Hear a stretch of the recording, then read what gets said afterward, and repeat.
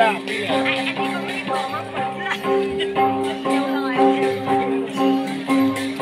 chọc chưa? Luôn ngồi đây chọc anh kia cũng ngồi